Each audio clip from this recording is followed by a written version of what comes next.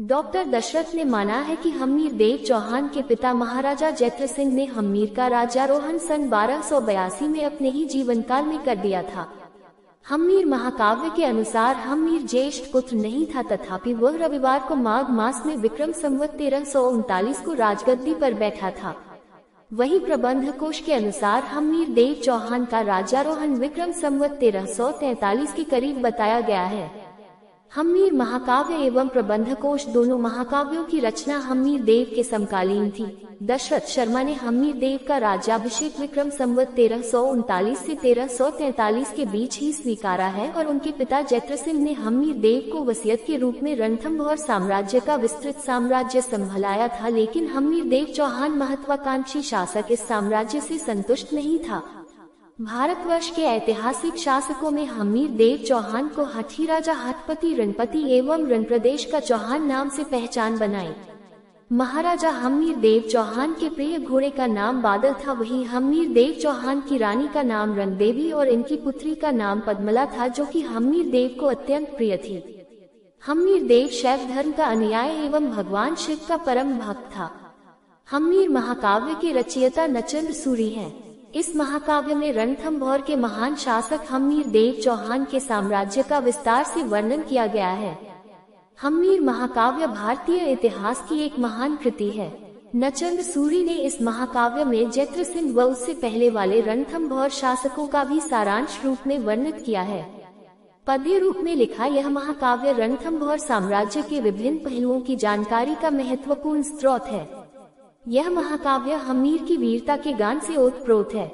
इस महाकाव्य में बताया गया है कि मालवा, वर्तमान गुजरात के राजा भोज को एवं गढ़ के राजा अर्जुन को पराजित करने वाला हमीर देव चौहान एक महान राजपूत था और सही भी है कि महान व्यक्तियों के बारे में ही महाकाव्य जैसे बड़े ग्रंथ लिखे जाते हैं। राजस्थान के दो महान शासक थे जिनके महाकाव्य लिखे गए और वो थे पृथ्वीराज चौहान और हमीर देव चौहान। इस महान ग्रंथ की रचना जोधराज ने की थी। इन्होंने नीमगढ़ वर्तमान नीमराना अलवर के राजा चंद्रभान चौहान के अनुरोध पर मीर रासो नामक प्रमबद काव्य संवत अठारह सौ पचहत्तर में लिखा। रणथम्भौर के राजा हमीर देव चौहान के विजय अभियानों से चंद्रभान काफ़ी प्रभावित थे। इस प्रमबद काव्य में रणथम्भौर के प्रसिद्ध शासक हमीर देव का चरित्र वीरगाथा काल की छप्पे पद्धति पर वर्णन किया गया है। इसमें बताया गया है कि हमीर देव चौहान ने शरणागत की रक्षा के लिए अपना सब कुछ न्यौछावर कर दिया। राजा हमीर ने कई बार दिल्ली शासक जलालुद्दीन खिलजी को पराजित किया और अलाउद्दीन खिलजी जैसे शासक के दांत खट्टे कर दिए। हमीर रासो हमीर की वीर गाथाओं के साथ वो जसवी भाषा में बहुत अच्छा महाकाव्य है। इस महाकाव्य में बताया गया है कि मोहम्मद शाह मंगोल दिल्ली के शासक अलाउद्दीन खिलजी की बेगम से बेहद प्यार करता था और उसका धन लूट करके वो वहाँ से भाग गया था, जिसे अलाउद्दीन खिलजी पकड़ना चाहता था।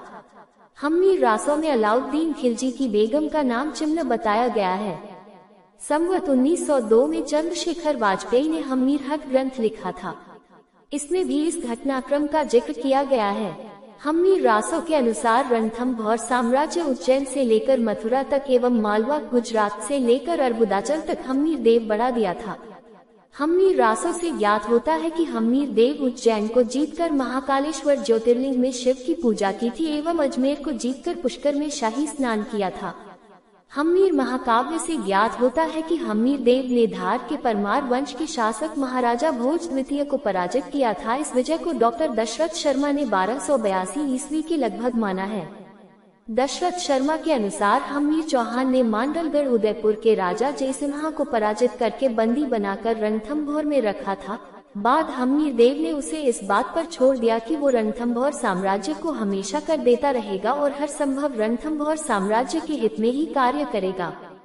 हमीर देव ने वर्तमान माउंट आबू के राजा प्रताप सिंह को परास्त करने के बाद मार दिया था।